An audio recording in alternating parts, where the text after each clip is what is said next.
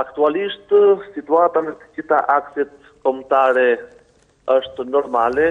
qarkullimi i mjeteve është në funksion të plotë, kanë filluar reshjet e para të dëborës në veri të vëndit në qarkun e Kukësit e të Dibrës,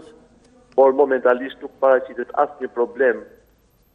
si ndërhyrja e kontraktorëve të mirëmbajtjes ka normalizuar të gjithë situatën. Reshje dëbore ka dhe në aksin Korçë-Dardhë, por për qarkullimin nuk ka asnjë lloj problemi. Një problem serioz i theksuar dhe herë të tjera është në rrugën e Kombit, ku pas hapjes së portave të hidrocentraleve të Ulzës dhe Shkopetit, rritet sasia e nivelit të ujit në lumë gjë që bën ardhjen e këtyre prurjeve afër trupit të rrugës, duke shkaktuar dhe gërmimet e saj. Por dhe aty janë marrë masat, ndodhet grupi i punës me Drejtorinë